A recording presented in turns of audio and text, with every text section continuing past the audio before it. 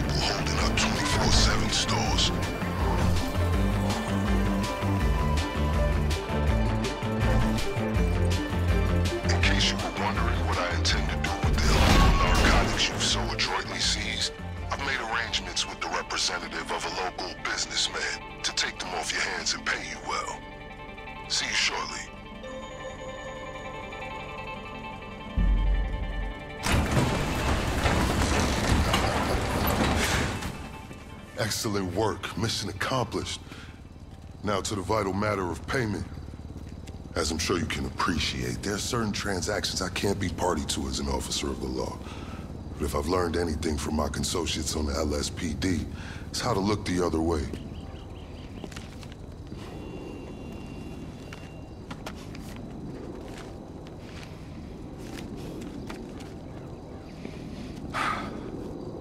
Now remember, as far as I'm concerned, you can hit that factory as often as you'd like. As long as you're giving me reasons to keep looking the other way, I'm happy. As you can see from my choice of transportation, my fortunes at the LSPD are also improving. Just got these babies in, fresh off the line. Guess who picked one up? Until next time, well, let's disassociate.